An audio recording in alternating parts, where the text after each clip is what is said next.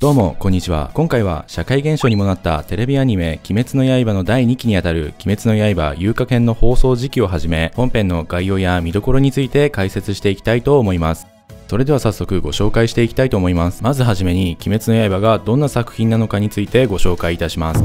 テレビアニメ、鬼滅の刃はアニメーション制作を UFO テーブルさんが担当し、2019年4月から9月までの間放送されていた作品です。まだ見たことないよって方は、現在は Netflix 他にて配信されていますので、ぜひチェックしてみてください。そして、鬼滅の刃のあらすじをざっと紹介すると、大正時代を舞台に、ある日、妹以外の家族を鬼に惨殺されてしまった主人公、かまど炭治郎が、鬼となってしまった妹、禰豆子を人間に戻すために、鬼と戦う組織、鬼殺隊に入隊し、鬼たちと戦い、剣士として、人として成長していく物語が描かれた作品です。それでは「鬼滅の刃」遊郭編の本編の概要をご紹介していきたいと思います。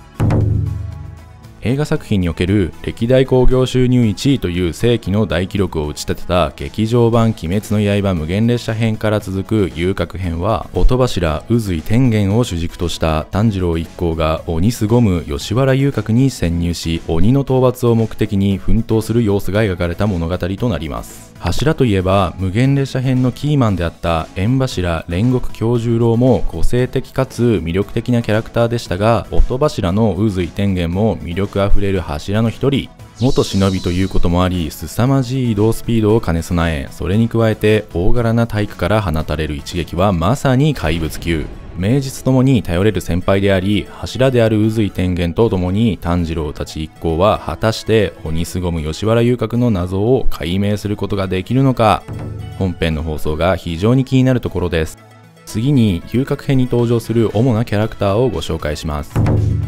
本作の主人公、かまど炭治郎、声優は花江夏樹さん、炭治郎の妹、かまどねずこ、声優は紀藤あかりさん、いざという時に頼れる、吾妻善逸、声優は下野紘さん諸突猛進でおなじみの橋平伊之助声優は松岡義嗣さん今回登場する柱宇髄天元声優は小西克幸さん今回登場する上限の鬼ダキー担当声優はまだ未発表です。遊郭編では無限列車編にて登場した上限の鬼でもある赤座に続き、2人目の上限の鬼ダキが登場。上限の鬼は100年以上入れ替わりがないということで、ダキも相当な手だれだと予想されますが、炭治郎たちは見事彼女を撃つことができるのでしょうか遊郭編の原作についても合わせてご紹介しておきます遊郭編は原作の漫画では8巻の後半から11巻にかけて描かれています紙媒体のみならず電子書籍にいても読むことができるので放送前に遊郭編を網羅しておきたいって方はぜひ事前にチェックしてみてください。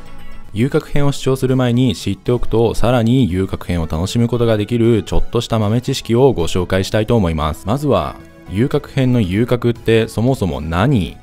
遊郭とは現代でいうキャバクラよりもディープなお店が集う区画のことを指し中でも江戸時代に日本橋付近で栄えた幕府公認の吉原遊郭は気品あふれるお店が集う日本でも最大級の遊郭だったとのことです。一説によればその気品ゆえに吉原遊郭には厳格なルール等が存在しまた遊郭で一晩過ごすにはかなりの大金が必要とされるなどまさに江戸の男子たちが夢見る歓楽街であったことが伝えられています。じゃあ現在の吉原遊郭はどうなんだろう？ということに関しては現在でも吉原遊郭は映画を極める花の都というわけではなく昭和33年に執行された買収防止法に基づき吉原遊郭はその歴史に幕を閉じました。しかし現在でもその跡地となる吉原では当時の名残を見受けられる街並みのようで次に遊郭といえば気になるのはやはり花魁。花魁と呼ばれる美しい女性たちのことを指す言葉は誰もが一度は耳にしたことがあると思いますが花魁とは遊郭で働く遊女たちの中でもとりわけ位の高いもののことを指しています。作中では遊女たち同士のやりとりも多くあることから上記のことを頭に入れて主張することで遊郭への理解が深まり本編をより楽しむことができるかと思います。